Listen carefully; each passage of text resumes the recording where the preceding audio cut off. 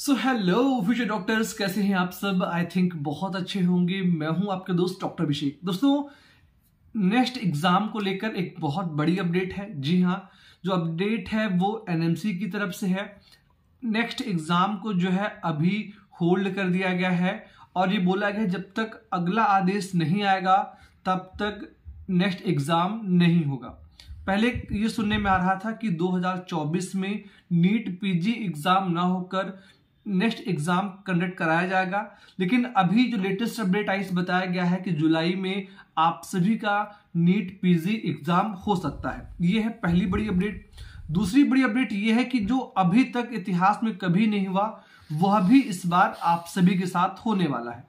आप सबको पता है कि आफ्टर एमबीबीएस जब आप पीजी कॉलेज में जाते हैं, आप पीजी करते हैं तो वहाँ पर सभी बच्चों को मिलता है स्टाइपेंड और वो गवर्नमेंट और प्राइवेट कॉलेजेस में अभी तक क्या था कि अलग अलग था। मतलब जो बच्चे गवर्नमेंट कॉलेज से करते थे, उनको अलग, जो बच्चे प्राइवेट कॉलेज से करते थे, उनको अलग। लेकिन इस मैटर पे प्राइवेट कॉलेज के बच्चों को हमेशा से प्रॉब्लम थी, हमेशा से आपत्ति थी और वो अपनी एक वॉइस जो है, राइज करते थे कि ऐसा नहीं हो, जो बच्चे पीजी कर रहे हैं, उनको गवर्नमेंट समान अधिकार दे। तो फाइनली ये अब हो गया है। आपको बता दें कि आफ्टर एमबीबीएस जब आप पीजी करते हैं तो पचास हज़ार से लेकर सत्तर हज़ार पर मंथ आपको स्टाइपेंड मिलता है।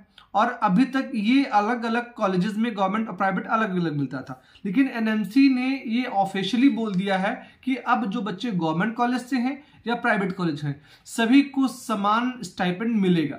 ठीक है? एक बार फिर से सुनिएगा fifty to seventy thousand per month आपको मिलती है गवर्नमेंट की तरफ़ से जब आप पीजी करते हैं। तो ये बहुत अच्छा कदम है और इससे गवर्नमेंट प्राइवेट की जो अलग अलग बच्चों के बीच में भी दीवार खड़ी थी पैसे की, वो अब खत्म हो रही है। बच्चे दोनों मेहनत करते हैं तो दोनों को समान अधिकार मिलना चाहिए।